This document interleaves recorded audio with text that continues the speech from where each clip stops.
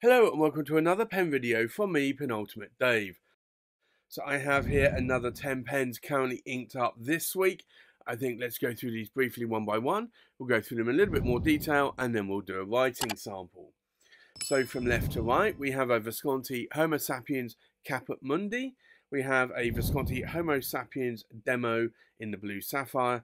Uh, we have a Visconti Medici in the golden black. We have an Onoto and this is the Magna Classic in chased jade.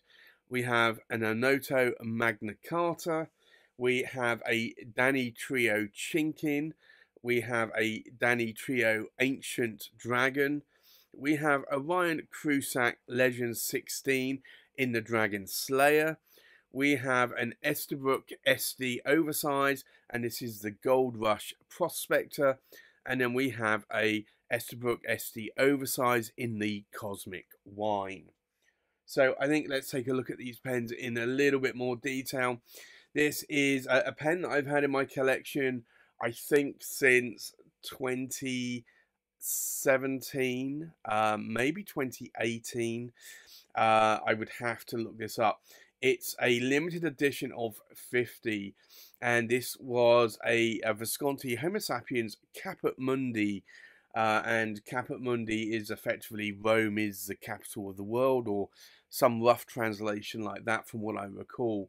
So there were 50 made, and I believe these were for Italian retailers. I think mostly uh, Stefano at Silograph Corsani had these. I think Novelli had some as well. Uh, these are long sold out. Visconti did for Chatterley Luxuries in the US make a batch of I think another 28 and they had either the uh, rhodium silver trim or the ruthenium black trim uh, on uh, the pens. Uh, this is the bronze version, so only 50 made of these. It's a Paravac filler, it's a double reservoir there. Uh, it's a standard Homo sapiens, it's got the hook safe lock mechanism, and it's got the original 23 cat palladium medium nib and I have to say I really love how this pen writes and uh, I've had it inked up a little bit more recently and uh, I'm still inking that up because I like it. Uh, it is a very wet writing pen. Uh, I typically now actually put a slightly drier red ink in there uh, purely uh, because I find that um, the if I put quite a few red inks in here it can feather a lot. Um, this is a really beautiful size pen. Uh, you've got the concave section here. Uh, you can post the caps if you want to. Um, they don't really go on that securely. They will do, but it will pop off slightly. So I don't, because it, it's resin, I don't want to crack this cap. So I, again, I just don't normally post caps. I know I say this a lot, but I am not a cap poster. Uh, and uh, but I do know a lot of people like posting their caps. They don't. They either want the pen to be back weighted or they just don't want to lose the cap. And I get that and I understand that. But for me, I typically normally put the cap down, normally in front of me, in front of my notepad, or sort of behind my notepad or, or notebook. Uh, so I know that it's secure and uh, it's at the top of the notebook so that I can then um, find it very quickly when I need to put the cap back on. The next pen I have inked up this week is the Visconti Homo Sapiens Demo Stone, and this is in the blue. Uh, um, I do like this a lot. Um, this uh, does have the demo stone there, so it has a blue demo stone which is glued in, and then you have the My Pen finial on the filling knob there, which is slightly different uh, take uh, that Visconti have used there. I'm not really sure what that adds other than you could potentially put your initials there. Um, I haven't actually tried this, but I think that is probably glued in place. So I'm not even sure that you can actually replace that, um, which which would be a shame if that is the case. Um, but it's a double reservoir. Uh, it's a Paravac filler. It's a Homo sapiens, um, and it has the hook safe lock mechanism the concave section. Uh, it has a 14 karat gold nib on this one, and I have uh, mentioned a number of times in the past that I'm not really a fan of that design on the nib. Um, I, I, much prefer the uh, fleur de lis uh, from uh, uh on the uh, original Visconti nibs. Uh, I don't know what Visconti's intention is, whether or not this will become the new logo or uh, over time, or whether or not uh, this is just a logo that they're playing around with. But uh, I have to say, although the fleur de lis is is a little bit dated, um, I do prefer that, and I do like that on a nib. But that is a 14 karat gold. It's a medium nib. This is a 23 karat medium nib, um, uh, palladium, and that's gold. The next uh, pen inked up again. I've had this inked up for for a few weeks now. Uh, this is a Visconti Medici. It's a golden black. I really do love this material. It's a stunning material. Uh, it's made of uh, acro silk. Now, that's Visconti's terminology acro, short for acrylic or acryloid, and which is another term, and silk because it's got silk fibers in it and it's mixed within that resin or um, acryloid or acrylic, and uh, you get this beautiful, beautiful effect going on there. Uh, it is a faceted pen. It is a Powervac. Uh, it's a single reservoir. There's no ink window, uh, but you have got the hook safe lock. You've got the concave section and you've got an 18 karat gold. This is a newer in-house nib from Visconti, and that's a medium nib uh, with an ABS plastic feed. Uh, something I've mentioned before is that Visconti typically uh, do not do ebonite feeds. They do ABS plastic feeds, and I don't really know the reason behind it, other than with ebonite feeds there is a high failure rate uh, in terms of making them. Um, and that might be the reason why they also cost more as well. Um, in the grand scheme of things, it's not a huge amount more added to the cost of a pen. It's probably only 15 euros, 15 dollars, 15 pounds. Uh, it's not a huge chunk, probably a lot less than that, to be honest. But um, yeah, I don't really know why Visconti have steered away uh, from Ebonite. Um, other than probably uh, um, in terms of their feeds, the ABS plastic feed they've got there, they have a lot of fins on it, and their pens normally are fairly super wet.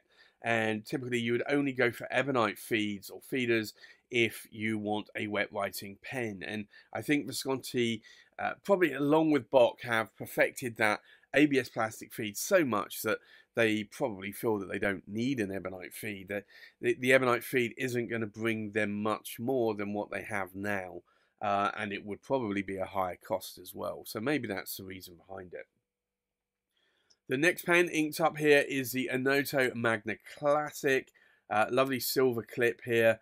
Um, and this is in the pearl jade or green. Uh, and this has got this beautiful chased pattern on there. Um, I'm typically not a fan of having uh, names um, written on pens, um, so I'm not a great fan of Onoto, the pen company there. Um, and also, I think having a blank area where you can engrave your name, uh, although great if you want to engrave your name, I, I think is uh, shouldn't actually be there if you're not going to have it engraved. Um, I do like this pen though. Uh, it is a brilliant pen. Uh, you've got the Onoto Cap Finial logo there as well, and then a blank one on the what would be the uh, blind cap or end cap. Um, but I do like this chase. I do like the silver filling of that chased pattern as well. Um, this is what really speaks to me in this pen, and also the color as well. I love this pearl green. Uh, it has a black section. It has a number seven size Onoto nib, and it's an 18 karat gold nib. It's a medium nib uh, it came, um, I bought this uh, second hand. It came as a crisp italic, which I really didn't like. Uh, most of the under of the tipping has been removed, unfortunately. You can see there, it's virtually nothing there. Uh, so I have actually rounded that off and made it from a crisp italic to a stub. Uh, and I'm now liking how it writes, but it does write a little bit more broader um, because of that crisp metallicness that, that, was done in terms of flattening out that tipping by the previous owner or Nibmeister.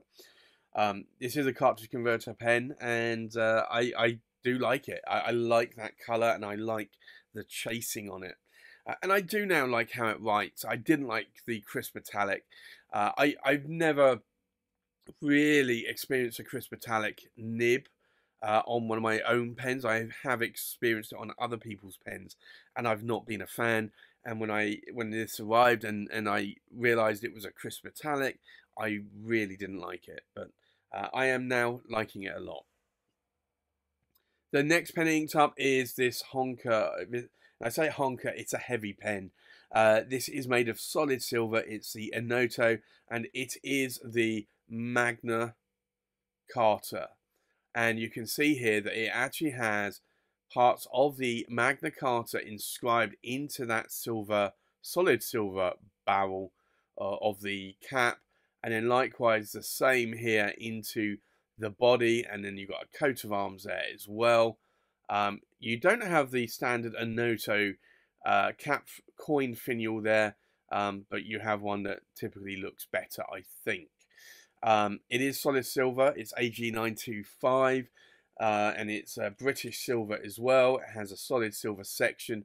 It is a cartridge converter, and again, has a number 7 size, 18 karat gold nib. This is a fine nib on this one, and uh, I have to say I do like it a lot. Um, so uh, I have that one inked up with me today. Um, it's a little bit more on the thinner side to what I would normally like in a pen. Uh, I typically like a pen a little bit wider like these Viscontis. Um, so it is a little bit narrower, but I think the weight makes up for that narrowness. I don't think I could go any narrower than, than this probably in a pen. The next pen is a Danitrio. This is a chinkin pen, and chinkin is an art form where you basically etch away and fill with uh, like gold lacquer or or other colors and you can see here you've got some lovely petals there on that that sort of bush uh, the leaves uh, and you can see that they're green down here and then they go to more of a reddish color towards the tips uh, very nice. And then you have these flowers down here as well. Um, and then you have all of this uh, uh, writing as well. Um, and then you have the artist's signature there. Uh, this is uh, an ebonite pen with Urushi lacquer and then chinkin on top. Uh, it's a Danitrio. You've got the Danitrio Fireball nib there, and this is a fine uh, 18 karat gold nib, and it's a cartridge converter pen. Uh, again, it's Urushi. I don't post the caps. Um, Urushi is pretty strong, so you're probably not going to get any marks uh, left. But uh, if you've got threads in the cap, which you're going to have, it could still make some marks on the pen over time. So I don't, that's one reason why I don't post my caps. I don't like scratching things. Uh, unless I like things will get my like pens will get micro scratches on taking them in and out pen cases putting them on a, a desk or a table um, they are going to get micro scratches on them. But if you can try and avoid it not put scratches on by posting caps and i think it's worthwhile especially when when you look at the cost of of, of uh, some of the Urushi pens as well the next pen here is again another Danitrio, and this is the Maki-e Ancient Dragon beautiful ancient dragon here, Chinese uh, dragon. Uh, you've got this lovely sort of silvery uh, wind there, uh, and you also have this lovely shield, uh, and then you've got a flower there. I think it's a sunflower, maybe, not 100% sure. And then you've got some lovely green, sparkly uh, bits there as well, and then you have the artist signature. very strange shape of a pen. Uh, I didn't think it would be comfortable to write with, but it is very comfortable. Um, it does have a lot of threads. Now, I'm going to actually, um, I've not actually counted this before, so I'm going to do one rotation, two, three, four, five. Five rotations, which is a lot uh, for a pen cap. I'm not entirely sure why there's five, but um, it is what it is, I guess. Um, it has a uh, number six size Danitrio 18 karat gold fireball nib, Uh, this is a medium, um, and uh, I do like this a lot. It is a cartridge converter, but it does feel very comfortable in my hand. Like the bulbous part here just rests in the crook of your hand, uh, and I just think it actually just feels right to me. So I do like that size. Um, I'd love to understand from Danitrio at some point was this actually uh, a uh, design or was it just that somebody messed up the shape of a pen at one point and actually realized actually you know what this looks quite nice and feels quite nice um, but I have that one uh, inked up with me this week as well and another dragon here. We've got the Ryan Krusac Legend 16 and this is in the Dragon Slayer. So you have a lovely scrimshaw here of a fire breathing dragon and a dragon slayer. Uh, this is all laser etched onto antler and the cap here is made of wood and you've got the uh, dragon scales uh, or bird uh, it, to me it looks like bird scales but I'm pretty sure it's supposed to depict uh, dragon scales um, and that is again etched or carved onto the wooden cap as well now if I unscrew the cap uh, you'll notice here it has a number 6 size JoWo medium nib there. Uh, it says RK on it uh, for Ryan Krusac. It's a cartridge converter pen. Legend 16, if, you, if you're going for a custom made pen and the custom pen maker says, oh, it's a 14 or it's a 15, maybe a 13 or a 16, that denotes the diameter of where the threads are. So a 16 is going to be a more girthy or more thicker, wider pen, and a 13 is going to be a more narrower pen. Uh, so this is a 16, and I don't think you get much more than a 16 on threads. Uh, I might be wrong, and a pen turner, but custom pen maker, may actually say to me, "Hey, no, you're wrong there, Dave."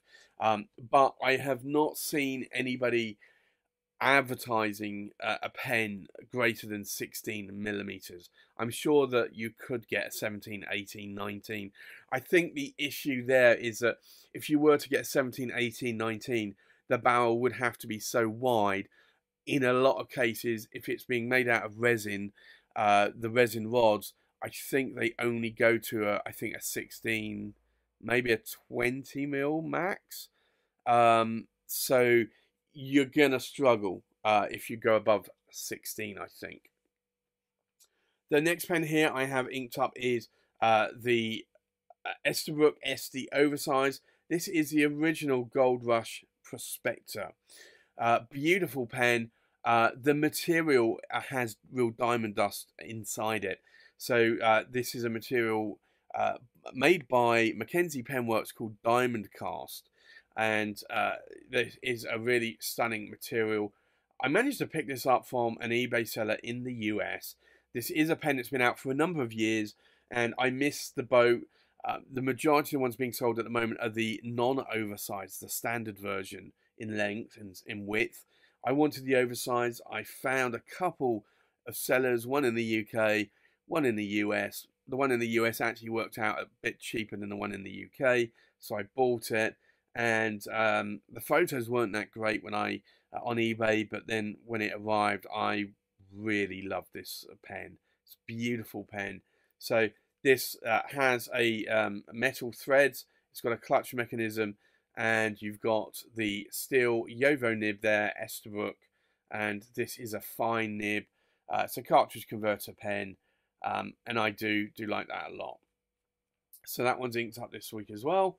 And then the final one, again, is another Esterbrook Estie Oversize. Uh, again, it's a sparkle.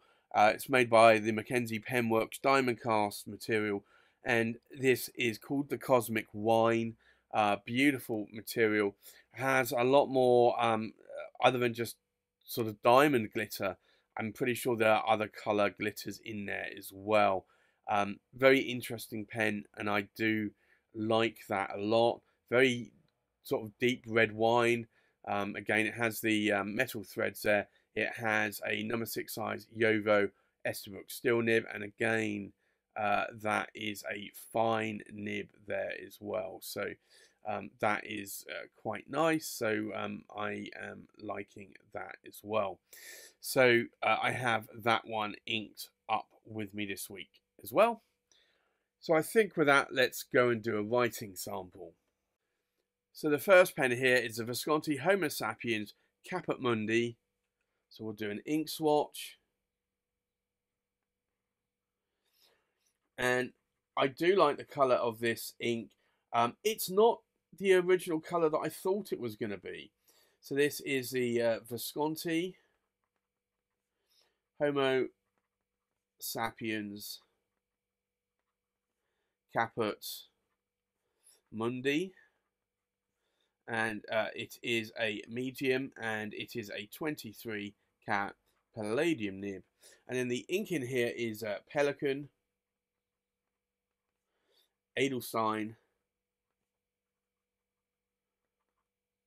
and it is uh, a garnet. And I thought garnet was going to be a much darker red than it actually is. Um, it actually turns out it's a little bit more of a, a lighter, sort of strawberry colour red. The next pen inked up is the Visconti Homo Sapiens, and this is the Demo Stones. So we'll do an ink swatch here. Um, this is a somewhat wet writer. It's not as wet as the um, Caput Mundi, uh, but this is a Visconti and it's Homo sapiens. And it's the uh, Demo Stones. I don't know if it's stone or stones. I'm gonna. I think um, it probably is demo stone, but I'm going to say stones because there's multiple of these colours. Um, it's a medium and it's the uh, 14 cat gold nib uh, from Visconti. And then the ink in here is a Visconti turquoise, which it's taken me, I want to say about five years to get this ink. And now that I've got it, I actually really do like that colour. So I am going to probably buy a few more bottles. Um, I have it in the uh, older style bottle um, and I think I'd like one in the newer style bottle, but I have no idea in terms of stock levels which bottle I'm going to get unless I were to buy it in person and not online. Um, so I don't know. I'll probably put in a, an order for another bottle or two and see what happens. The next pen inked up is the Visconti Medici Golden Black. So we'll do an ink swatch here. And I know some people will say, yeah, but you really should be putting a black ink in here because it is a golden black uh, name. Although, to be honest, I don't know, it to me it looks a little bit more on the browner side than black. So this is the Visconti Medici, uh, and it's the uh, golden black and it is a medium. It's the newer 18 cat in-house gold nib from Visconti, and then the ink in here is uh, KWZ Nuki Brown, which is a lovely uh, brown uh, coloured ink. The next pen inked up is the Onoto Magna Classic. So we'll do an ink swatch here. Now this does have a little bit of flex to the nib. It is a super wet writer, um, and I do like that. Um, and I've just got a whole load of green ink over my fingers. Uh, I guess that has leaked out a little bit. I think uh, that's one of the dangers of fountain pens, uh, unfortunately. So this is a, Onoto uh, Magna Classic and it's the uh, Chased Jade. And it is a medium and it is an 18 karat gold. It's a number 7 size nib and then the ink in here is Diamine Earl Grey. Uh, not Earl Grey, what am I saying? Uh, Diamine, uh, I, I think my um, uh, post-COVID brain is not what it used to be. Um, so this is Diamine Apple Glory. Uh, there you go. Yeah, I am still suffering from um, post-COVID uh, syndrome. Uh, or a bunch of it is fatigue. A bunch of it is uh, just brain fog um, and and other symptoms as well. The next pen inked up is the Onoto Magna Carta. So we'll do an ink swatch. And this is a really beautiful uh, um, writing pen. Um, it is a fine nib, and um, I did wonder about whether I should get it in a medium or not, and I decided I would get it in a fine nib. So, um, and I'm I'm liking the fine nib to be honest. So this is the Onoto Magna Carta, and uh, it is a fine, and it's a number seven size, uh, 18 cat, gold nib, and then the ink in here is a diamine, Earl Grey. Uh, and that is a, a favourite grey ink of mine, and I do like uh, the colour of that ink a lot. So for me, that that's a, a winning combination for that pen and ink. The next pen is uh, the Danitrio Chinkin. So we'll do an ink swatch on here as well. And this is a very wet writing nib uh, that I do love a lot. It's got a lot of bounce to this nib as well. So this is the Danitrio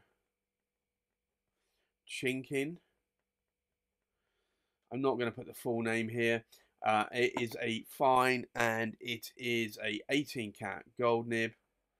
But this nib flexes very, very well. And then the ink in here is a Pilot Iroshizuku. And it's Ina-ho. Um, but because of the way that this nib flexes um, and the, the ink combination, it does feather quite a lot. The next pen inked up is a Danitrio Maki-e Ancient Dragon. So we'll do an ink swatch. And I still, uh, I'm trying to run this pen down. I'm not writing with it uh, as much as some of the other pens. So I'm trying to run this ink down. And then once it's out, I will probably put a darker red in here. Uh, so this is the Danitrio and uh, it is the Maki-e Ancient Dragon. And it is a medium and it's an 18 cat gold nib. And uh, the ink in here is diamine. Oops. and it's strawberry. But that is a, a very beautiful ink I'm just going to actually have a look. there you go. It is actually out of ink, so that's why it did skip there. So uh, I will now be inking that up with another colour ink. Uh, I do think probably, uh, probably maybe Steenrod van Vermeer or uh, another one that goes well with Akatamanuri is normally um, uh, um, Akkerman Dutch Masters uh, and Van Jan Steen. So I think that maybe Van Jan Steen. I might just do an ink swatch of both of them and, and see which one I would prefer before I actually ink it up. The next pen inked up is the Ryan Krusac Legend 16 in the Dragon Slayer. So we will do an ink swatch again. Now this is a fine nib. Uh, I love the colour of this ink. It's a fiery orange. Uh, has brilliant shading if you put it in a broad or a stub nib, something that writes really wet. Uh, so this is uh, the Ryan Krusac uh, Legend 16 in the Dragon Slayer. And it's a medium and it's a still, it's a JoWo nib. And uh, the ink in here is Noodler's Apache Sunset. Now, I did re-ink this not long ago, and I just want to see how much ink is left in there. Yeah, I've got almost a full converter there. Um, I, have been thinking about putting in another Noodler's ink, uh, maybe Habanero or um, uh, Dragon's Napalm. Uh, hence the name Dragon uh, would go nice with a, a Dragon Slayer pen, perhaps. Uh, so maybe I'll do that uh, once I run that down. The next pen is the Esterbrook Estie Oversized Gold Rush Prospector. So we'll do another ink swatch. Now this is a fine nib and uh, I, I, am liking this. I, I did have to smooth or round the nib off to a slight stub because I did find it was a little scratchy. I found one of the tines was misaligned on this as well. Uh, this was uh, from an eBay seller in the US. Uh, it works very well now. I, I do like it. Um, but sometimes you do have to tweak the nib slightly. So this is an Esterbrook Estie and uh, it's the uh, Gold Rush uh, Prospector. It is an oversize. It's got a fine, it's got a steel a JoWo nib, and then the uh, ink in here is a uh, KWZ Old Gold, which is a favourite gold ink of mine uh, prior to uh, Pilot Iroshizuku Ina-ho. Ina-ho looks quite a nice uh, flat gold. Uh, this um, goes on a bit dark, but it will lighten up. So when we go through and I read the pens inked up one last time, you'll see it's probably a bit more of a, a muted uh, gold. The last pen inked up is the Esterbrook Estie Oversize, and this is in the Cosmic Wine. So we'll do an ink swatch here. Again, this is a fine nib. Uh, I decided because I, I kind of like that fine nib. Um, when I bought this one, I would get another fine nib as well. Um, I've got broads and medium JoWo, so I could always swap the nib out if I wanted to. Uh, I've got a couple of uh, medium uh, Esterbrook nibs as well. Uh, so this is an Esterbrook Estie and it's the Cosmic Wine and it is an oversize. Uh, and again, it's a fine and it's a steel JoWo nib. And then the ink in here is Diamine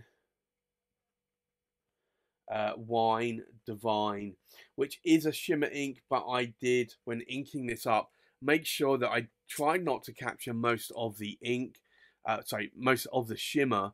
Um, and there is some shimmer in there, but it's very, very minimal. So how did I do that? I just didn't shake the bottle. I, I let all of the, the um, shimmer go to the base of the bottle and then inked up from the top of the bottle. So I think let's take a look at these pens inked up one more time. So we have a Visconti Homo Sapiens Caput Mundi in a medium 23 cat palladium nib inked up with Pelikan Edelstein Garnet. We have a Visconti Homo sapiens Demonstones in a medium 14 carat gold nib inked up with Visconti turquoise. We have a Visconti Medici golden black in a medium 18 carat gold nib, nib inked up with KWZ Nuki brown. We have an Onoto Magna Classic in Chase Jade in a medium 18 karat gold nib inked up with Diamine Apple Glory we have an Onoto Magna Carta in a fine 18 karat gold nib inked up with Diamine Earl Grey. We have a Danitrio Chinkin in a fine 18 karat gold nib inked up with Pilot Iroshizuku in a hoe. We have a Diamine Maki-e Ancient Dragon in a medium 18 karat gold nib inked up with Diamine Strawberry. We have a Ryan Krusac Legend 16 in the Dragon Slayer with a medium steel nib inked up with Noodler's Apache Sunset. We have an Esterbrook Estie Gold Rush Prospector in a fine steel nib inked up with KWZ Old Gold. And then, last but not least, we have an Esterbrook Estie Oversized Cosmic Wine in a fine steel nib inked up with Diamine Wine Divine. So there you have it. That's my currently inked pens for this week.